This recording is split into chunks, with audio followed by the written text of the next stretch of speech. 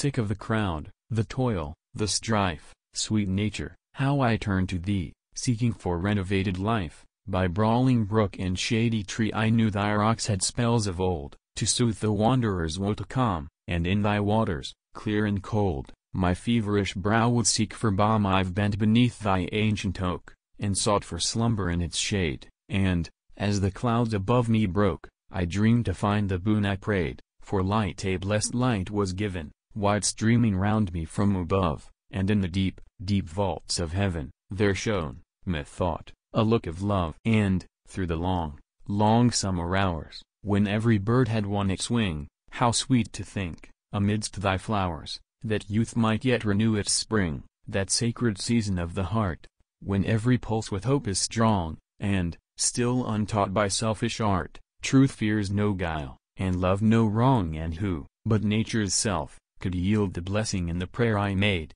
throned in her realm of wood and field, of rocky realm and haunted shade who, but that magic queen, whose sway drives winter from his path of strife, whilst all her thousand fingers play, with bud and bird, in games of life. With these a kindred life I ask, not wealth that mortals vainly seek, but, in heaven's sunshine let me bask, my heart as glowing as my cheek, an idle heart, that would not heed the chiding voice, when duty comes, to drag the soul, but freshly freed, back to cold toils and weary glooms. No lure she finds in mortal schemes, which wiser fancies still reprove, far happier in her woodland dreams, with one sweet teacher, taught by love thou, nature, that magician be, restore each dream that taught the boy, that warmed his hope, that made him free, while wisdom took the shape of joy, and I will bless thee with a song, as fond as hers, that idle bird, that sings above me all day long, as if she knew I watched and heard.